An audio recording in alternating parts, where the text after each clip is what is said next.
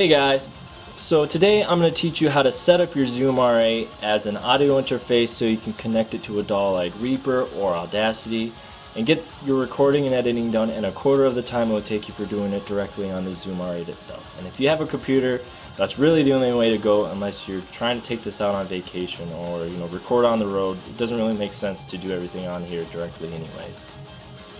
The first thing you're going to do is connect in your USB cable into your computer and turn on your Zoom R8. And the next thing depends on whether you want to record acoustically and use the built-in mics or if you want to record your electric guitar or keyboard or bass you'd connect it into these inputs here.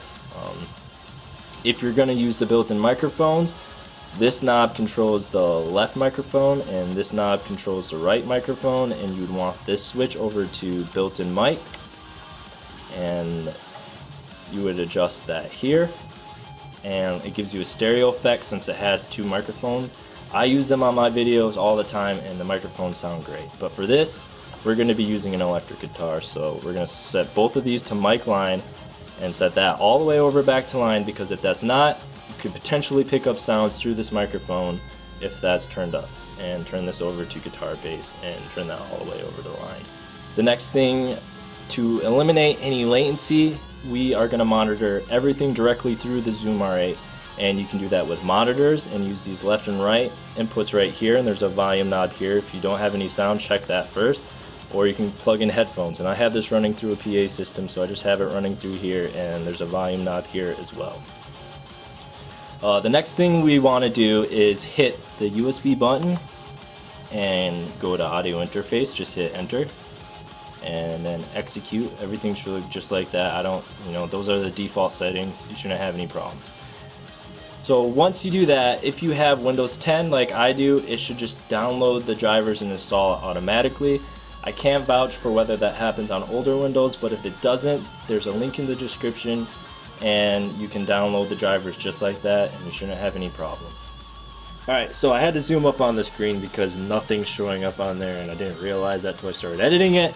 But if you want to use effects, you hit the effect key and it will bring it bring you here. And you just use the arrow keys. Um, algorithm is basically what kind of sounds you get you want, whether it's distortion, clean, master effect, uh, dual mic, mic. Basically the important ones though to me are bass, acoustic bass, distortion, and clean. And if you want to change those, you just go to patch and those are the presets. You just use the little wheel to change them. If you want to edit them directly, just go to edit and you can put a compressor on, limiter, just use the keys to cycle through. You can add effects. There's a little button here you hit on and off. Auto wah, tremolo, phaser.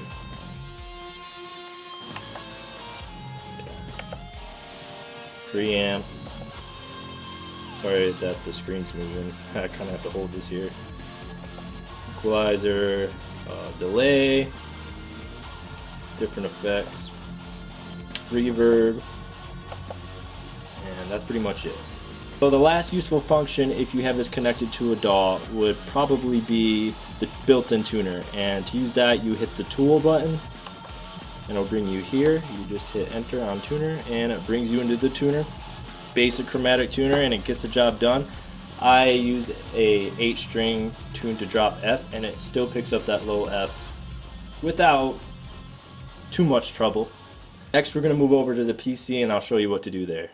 Alright, now we're over on the PC. If your drivers didn't automatically install, uh, there's a link in the description and it'll bring you here. You scroll all the way to downloads, and then under R8 audio driver just pick whichever Windows you are running whether it's 7 8 it even goes all the way back to XP and just install it that way and you should be good to go. Once you've done that you're going to open up Reaper. And I also will have a link in the description for Reaper. They have a 60 day free trial and just for the personal version, I think it's only $100 for the license, which you could pretty much do anything you'd ever want with this. So, But you're going to click over here, which is your audio devices. and it's gonna probably default to direct sound. We're gonna change that to ASIO. This should be all the default settings. If they're not, just change it here and these work perfectly for me. So once you go to your audio devices and change that to IS, ASIO, you should be all set to go. Um, unfortunately, the way I'm recording right now, if I try and change it to that, it'll cut off my microphone and you won't be able to hear me. But basically, that's everything. The only last thing I'm going to show you is some examples of the effects on the Zoom R8 and the quality of recording a keyboard, um, acoustic guitar, and an electric guitar. And this one song, you can get a good example of what everything sounds like. If you guys run into any other problems, the only last thing I would check is your settings in your control panel and make sure that the Zoom R8 is installed. Um, if you have any other problems, uh, feel free to leave a comment below. I'll do my best to try and help you out. I'm probably going to be using a totally different setup here soon, but I figured I'd make a video while I'm still using it so I can help those who are having a hard time with this. If you guys like the video, make sure to hit that like button and subscribe. And I'd really appreciate it if you guys check out some of my original music and maybe some of my covers. I try to release something new every week or every weekend.